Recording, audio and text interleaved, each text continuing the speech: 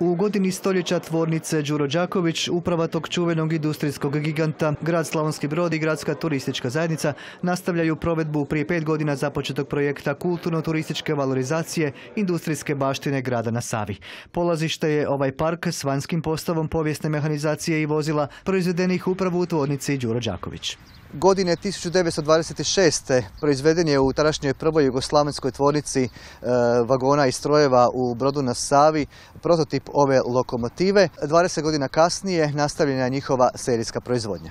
Ovo je za mene parna lokomotiva e, za normalni kolosijek, e, jedna od prvih proizvedenih u tadašnjoj jugoslavenskoj tvornici vagona, strojeva i mostova između 1937. i 1940. godine.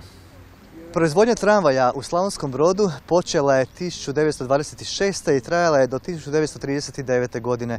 Potom je stala zbog eh, drugog svjetskog rata i nastavljena 1955. Ovaj tramvaj za mene proizveden je 1957. godine i prešao je gotovo 3000 km.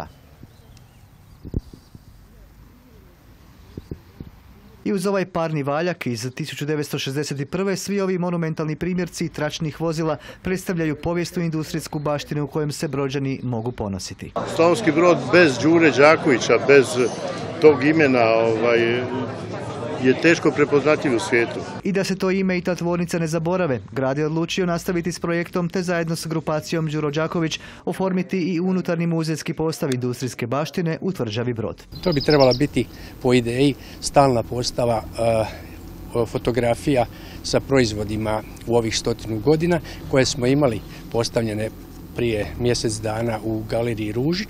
Ta cijela postava ide evo u ovaj prostor koji smo, pred kojim sada jesmo. Drugi dio stalnog muzejskog postava činit će sami eksponati nešto manjih dimenzija proizvedenih kroz povijest u džuri koji će pratiti i video šetnja kroz pogone tvornice. Sad pokušavamo naći vrlo stare po u pojedinim društvima, jel, vrlo stare eksponate, što manje, da tako kažem, da ih ovdje za stalno postavimo za uspomenu, odnosno za atraktivan pregled. Sam projekt ima i turističku i edukacijsku dimenziju. Dakle, ideja je da se sav taj video uradak, pa i snimka same izložbe, ponudi profesorima u osnovne i srednje škole u Slavonskom brodu, pa i u Županiji, kako bi u jednom satu ili dva sata u toku godine u povijesnom dijelu zapravo učenici učili i pričali o samom Đuru Đakoviću. No to nije sve, grad će obnoviti i rodnu kuću Đure Đakovića. Da je do kraja uredimo i da i nju pustimo i da damo, ovaj, e, ja bih rekao, na korištenje svima onima koji dolaze u grad Slavonski brod.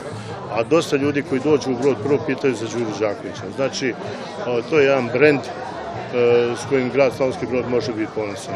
Muzej industrijske povijesne baštine u Tvrđavi Brod bit će deseti uređeni gradski postav kulturnog sadržaja koji će biti sastavni dio i turističke ponude grada u segmentu kulturnog turizma.